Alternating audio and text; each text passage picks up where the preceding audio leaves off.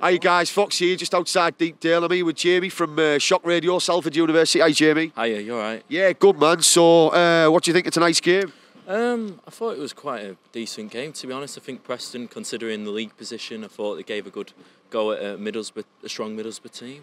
Is that it's quite a strong Preston team out tonight? Is that trying to kick off the season? Do you think? I think so. Yeah, I think they're trying to motivate and try and start something fresh, and maybe try and start, maybe try and get start make their season positive. Bit, a bit of momentum, maybe. Yeah, a bit of mo- bit of momentum because things are not going right for us at the moment. No, it, it looks like you've got some decent players now. I mean, Callum Robinson looks like a good player. Yeah. Um, Aidan McGeady as well. Is he still around? Is oh, he Aidan injured? McGeady, he left to Sunderland. Oh, didn't oh, right, okay. Because I Yeah. thought he'd come back, but he hasn't. Mm, But the problem is, is that we've not invested in uh, players. We've just only just got loan players. We've got two guys from Man City who are quite good, but I feel like as the club needs to invest Yeah. if, if they want to continue where they're going. Because Yeah. Championships competition. No, completely. And you've got a good manager, and you were unlucky last year. You made a late run for it, and um, obviously the season before also. And you've got a lovely ground. Um, has money been spent there? Do you think rather than players and stuff yeah, like that? Yeah, because um, as, uh, we sold nine nine million for Jordan Hugill. Yeah, and you've got him on West Ham, and um, we've got electric turnstiles. So I feel like the, the priorities of the club, the priorities of the club are not thing. Yeah, that's slightly out of order, really. Yeah. Um, we'll invest the transfer fee in just more electric.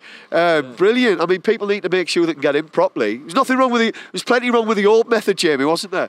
Oil and a bit of mechanics to get in, you know, with the turnstile. Wow. Yeah. So, so, so. I mean, uh, what what have you got? Sort of your youth team, youth academy. You look like you've got some strong players coming through. Yeah, we do. We've invested in quite a lot of the Irish. So, for example, Alan Browne, Sean, Shaw Maguire, and I feel like our development process is good.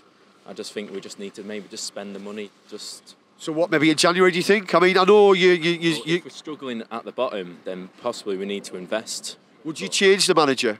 Um, I'd give him a couple more games. I feel like he's just had a bad run, and and I think considering what he did last season, I think he had a with the squad. I thought that was good. Yeah. Just give him a bit more time. But if it's not better by Christmas, I would. You know, I don't want to go back to League One, so just sort it out. Well, I mean, as you've said there, maybe the problem is, is that he hasn't had the, the, the funds to spend Yeah, because he did really well at Norwich.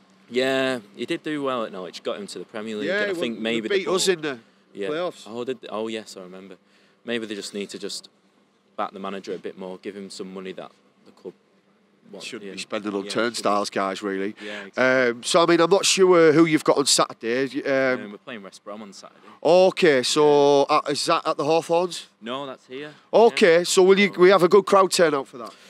Get Probably, possibly, yeah. I think there was five thousand on tonight. Yeah, so that's yeah. that's not really that good. Good, but it's a cup game on a Tuesday. Yeah, so. totally. But I think maybe this has proved a point that we can actually beat a, a side that's come down from the Premier League. Well, look, Yeah. I mean, to be honest with you, you know, you, you put up a good. Ga- there was it was a good game, and there wasn't really much in it for me. Um, it could have gone either way, really.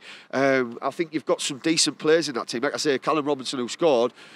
You know, um, he's he's he's a guy maybe to build around, but. Yeah, you know yourself with this league, Jamie, that you can be bottom at, bottom now and top be. four. Yeah, you could be middle by Jan- January, I reckon. But So, any any prediction for your season? I'd say in bottom 17th, 16th. Any prediction for Boro? Um, I'd say top six. You've Yeah. got a good manager, Tony Pulis, organised. You know, he's been he's done it before. You know, you missed out last season, but I think you could actually edge it this season. Well, listen, been really cool, man. Thank you for your time. Appreciate the interview, and I hope you have a good season, brother. Yeah, you too. Take care, man.